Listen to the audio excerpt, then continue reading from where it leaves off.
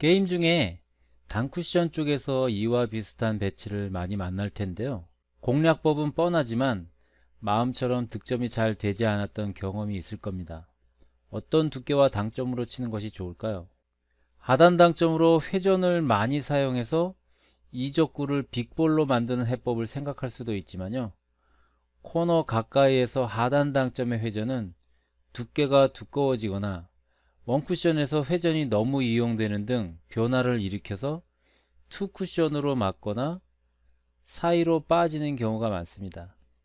이 배치에서는 두께와 회전이라는 두 가지 요소만으로도 득점이 가능한데 괜히 당점이라는 변수를 추가해서 어렵게 만들 필요가 없다고 할 수 있겠습니다. 투팁 정도로 회전을 약간 억제하고 부드럽게 치는 것이 조금이라도 더 안정적으로 득점하는 방법입니다.